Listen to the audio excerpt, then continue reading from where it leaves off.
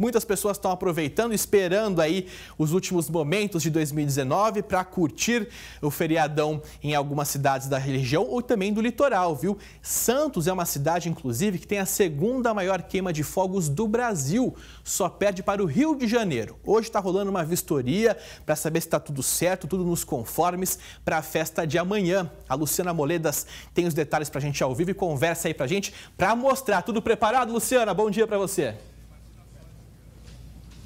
Bom dia, casa. Bom dia a todos. Tudo preparado. Eu estou aqui junto com o secretário de Cultura da cidade, o Rafael Leal. Rafa, já fizemos a vistoria aqui, tudo pronto para a festa, a segunda maior do país. Verdade. Bom, Bom dia, casa, bom dia a toda a audiência do SBT, bom dia, Luna. Bom, aqui é um showzaço que a gente vai ter aqui na cidade de Santos, é o segundo maior do país, só perde para Copacabana. Toda a tecnologia e produtos utilizados aqui no nosso show, utilizados nos grandes shows do mundo, é, como Dubai, como Pequim, como a própria Disney Copacabana, né?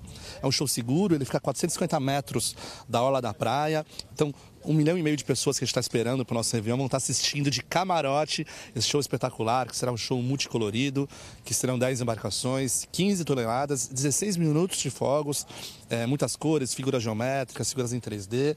E uma preocupação que a gente sempre tem, Lu, casa, toda a audiência, é uma preocupação também que é um show de baixo estampido. Uma preocupação que nós temos com os animais, com os idosos, as pessoas que não gostam de muito barulho. É um show para família, a gente vai ter um palco montado na nossa praia, um grande palco montado com a orquestra sinfônica tocando clássicos do Beatles, homenageando os 50 anos da última apresentação oficial dos Beatles. Um show especial com a, com a Blitz, Evandro Mesquita vindo com toda a sua energia. A expectativa é muito grande. Então, muito obrigada, viu? Vai ser um showzão. Agora, o que eu tô mostrando para vocês aí, essa maleta, o pessoal deve estar tá pensando, né? O que, que é essa maleta? É a central de controle. Mas a, o diretor técnico explicou pra gente que não precisa apertar nenhum botão.